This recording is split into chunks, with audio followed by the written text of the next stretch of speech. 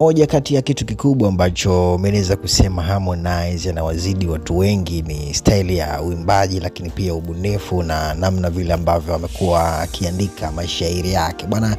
Nyimbo ya Single Again ambayo ameitoa katika wakati sahihi kabisa, siku ambayo ni siku watu wengi wamekuwa wakifurahia siku ya wapenda nao na imekuwa tofauti kwa watu maarufu kuwa single. Yani unakuwa mtu kama Harmonize alafu unakuwa single sio kitu rahisi kihivyo, lakini yeye mwenyewe ametuthibitishia kwamba yuko single na ametoa ngoma inaitwa Single Again. Katika ngoma hiyo ya Single Again ambayo ameitoa siku ya tarehe 14 ya mwezi wa pili, siku ambayo ni siku ambayo ni ya Valentine's Day, siku ya wapenda nao. lakini mara baada tu ya kuitoa ngoma hiyo imeweza kuvunja rekodi kubwa sana, rekodi ambayo amewapita wasanii wengi na amekuwa mmoja kati ya wasanii ambao eh, wame pata searching nyingi mtandaoni. Akiwa ameshika nambari moja, kuna namba mbili akiwa Diamond Platnumz, namba tatu akiwa Zuchu, namba nne eh, akiwa Mbosso. Na namba tano akiwa Rayvanny. So wasanii wote chini ya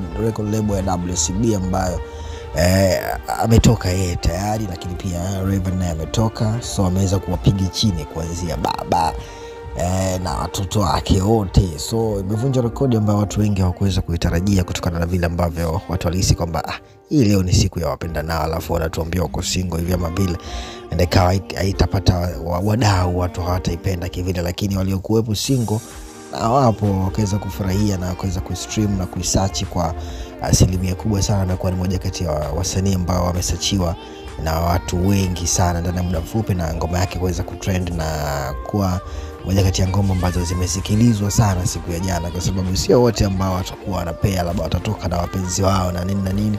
So ni moja kati ya creativity kubwa, ni ubunifu mkubwa ambao ameufanya Harmonize kutokana na vile ambavyo ameamua kwenda tofauti na watu wengine wote, na hiko ndicho ambacho kinamweka utofauti na anazidi kubamba na anazidi kuendelea kufanya poa kutokana na vile ambavyo amekuwa akiendelea kufanya kila siku. So amewapiga chini wasanii kadha kadha na kuendelea kushika nambari moja na kuvunja rekodi.